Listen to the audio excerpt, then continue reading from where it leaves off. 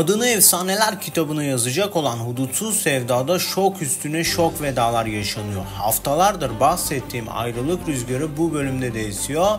Önümüzdeki bölümde de esecek ve ondan sonrasında da esmeye devam edecektir. Şimdi gelin büyük analize hemen başlayalım. Terminator Ceylan'dan sonra küçük enişte Tamer fırtınası esiyor.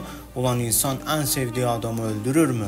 Demeyin demek ki öldürürmüş. Maalesef hudutsuz sevdada durumlar vahim. Zeynep ile Halo'nun da arası bozuluyor. Dizide ikinci sezon öncesi büyük bir temizlik yapılıyor. Birçok karakterin ayrılmasıyla dizi sezon finaline bol bol heyecanlı bölümlerle gidip yepyeni bir kadroyla da yeni sezona başlayacak. Gelin bakalım yeni bölümde neler olacak ve sezon kapanışı nasıl olacak. Videoyu sonuna kadar izlemenizi şiddetle öneriyorum. Ne olursa olsun video başında kalıyorsunuz ve sonuna kadar dikkatle dinliyorsunuz.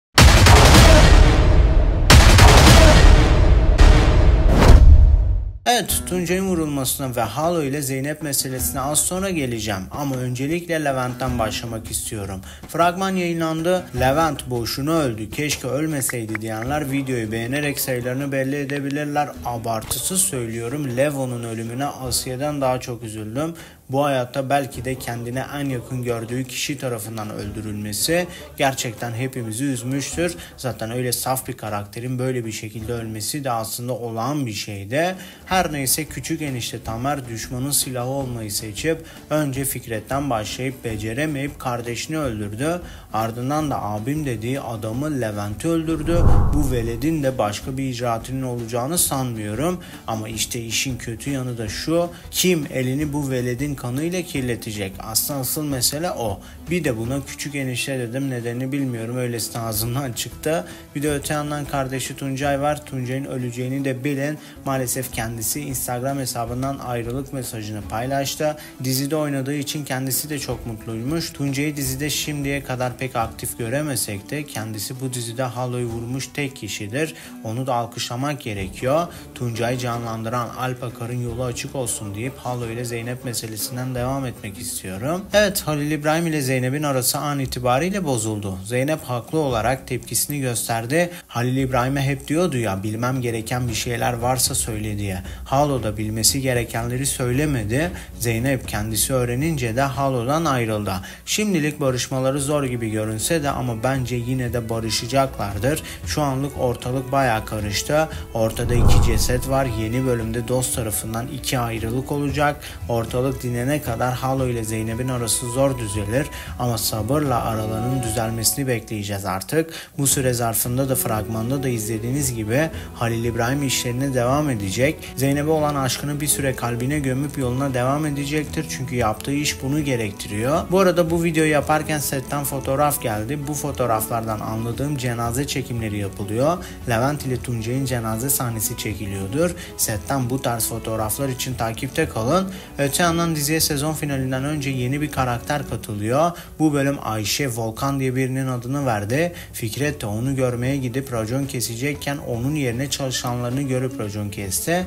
Dizi sezon finaline giderken birkaç bölümlük ufak kıvılcımların çıkacağı yeni aksiyonlar yaratılabilir. Bu kıvılcımları da Ayşe'nin yavuklusu Volkan üzerinden yapacaklar gibi görünüyor. Aslında Fikret şu an daha büyük belalarla uğraşıyor ama işte Volkan diye birinin adını da ortaya attıklarına göre diziye yeni bir karakter dahil olacak. O karakteri canlandıracak oyuncunun haberini aldığımda buradan sizlerle paylaşacağımı bilin. O bakıma kanalıma abone olabilirsiniz.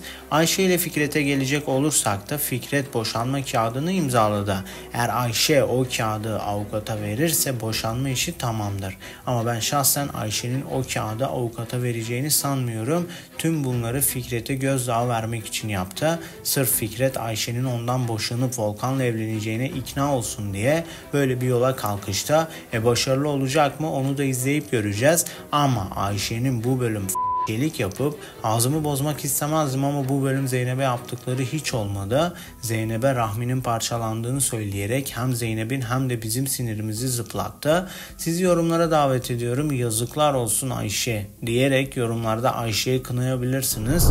Bu yeni bölümde içimizin parçalanacağı yeni kişiler de olacak babalar. Ulan bunlara üzüleceğim hiç aklıma gelmezdi. Ama daha şimdiden üzülmeye başladım. Nesim'in ölen tek oğlu Levent'e mi üzülelim? Rızvan'ın bir oğlunun diğer oğlunu oğlunu öldürmesine mi üzülelim? Ulan böyle bir senaryo yazılır mı be senarist?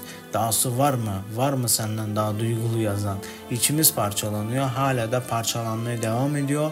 İleriki zamanlarda da devam edecek gibi görünüyor.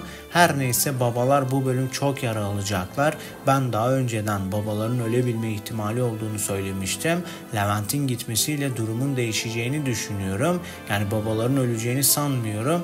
İkinci sezonda da dizide olabilirler ama tam analizi 2-3 bölüm sonra daha detaylı bir şekilde yapacağım. Bölümlerdir söylediğim ayrılık rüzgarı çok sert bir şekilde esiyor. Bu rüzgara yenileri de eklenecektir. Dizide o kadar çok karakter var ki öl öl bitmiyor. Dizi bol ölümle başladı. Bol ölümle de sezonu kapatacak ama ikinci sezonda daha kaliteli oyuncular diziye dahil olacak.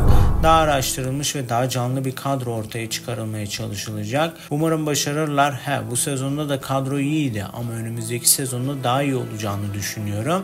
Sezon finaline bir buçuk ay civarı kaldı. Bu bir buçuk ay içinde yeni videolarla karşınızda olacağız ve yaz aylarında da hep burada olacağız. Analiz videolarımız gelmeye devam edecektir. Gel gelelim bölüm değerlendirmesine. Bölüm 10 numaraydı. Geçen bölümün son analiz videosunu hatırlarsınız. Bu bölümün çok duygusal olacağını söylemiştim. E dediğim gibi de oldu. Bölüm çok çok duygusaldı. Zeynep'in meselesi bayağı izleyiciyi sarstı. Son sahnede Tuncay'ın ölüm anında Fikret'in gösterdiği performans bayağı iyiydi. Orada da sahneyi resmen yaşadık. Halo ile Zeynep'in ayrılığı da ayrı bir dertti. Yani bol bol üzüldük ama bölümde çok büyük artılar da vardı. Mesela Hakan'ın kılıçla öldürülmesi çok iyiydi. Bölümde çalan yeni müzikler güzeldi. Yeni duyduğum arka plan müzikleri vardı. En iyisi de son sahnede Tuncay'ın vurulma sahnesinde çalan türküydü. Dolanı dolanı gelir ölüm yavaşça yavaşça. O türkünün dizide çalması çok iyiydi. Belki bu videonun arka planında da çalmışımdır.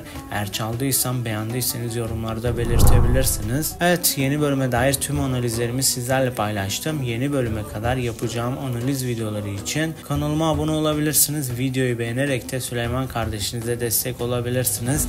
Yeni analizlerde görüşünceye dek şimdilik hoşçakalın.